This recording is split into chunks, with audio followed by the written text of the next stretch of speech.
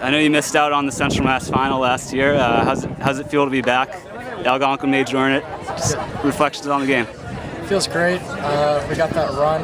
about, what is it? The second quarter, third Yeah, quarter. we went on a run the second quarter and they came back hard, but we kind of settled things down toward the end of the game. And it's always nice to be Algonquin in any situation, but it's just happened to be in the semifinals, so it's good to be back. I mean, was it two years now? Lost here. Yeah. I mean, I'm just happy.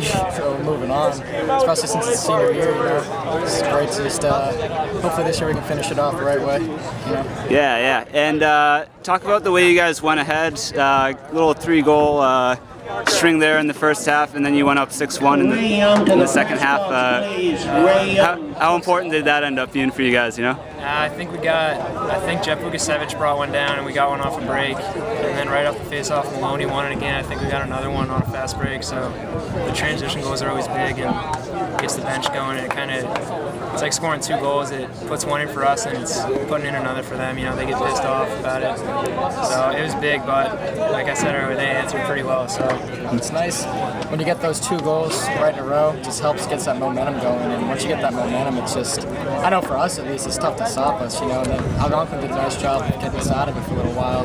He gave us a run for our money, but you know, just I'm glad that we were able to pull through the way we did. So. Yeah. Uh, can you guys talk about the uh, the goalie battle here, uh, Hunter? What it's like going up against Giles and uh, you know AJ uh, against another of the, the top goalies in the area. What, how does that? Uh, I don't know if that puts a little more pressure on, knowing it's probably a little lower scoring game. I've known Giles for a while.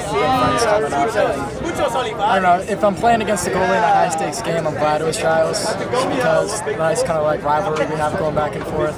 Uh, got a little a little risky when he came down and took the shot. I thought he might grab that one, but uh, you know, I guess I'm just happy I stopped We'll be announcing uh, the members of both rosters in two minutes. tough to beat. I mean, what was the final? Like eight. We got eight on it. I, I don't think anyone was his fault. So I thought he played a great game. And it was a good goal. I mean, he's been there for four years. So Yeah. it really tough to play. Uh, what do you think was the, the key moment of the game there? Because I, you know, Al- Algonquin looked really good making that comeback, and then you get you guys stopped him. Um, I thought the early key moment was when I think we killed two penalties. And then we got that fast break goal that set us on the run. And then at the end, I think, um, I forget who put it in.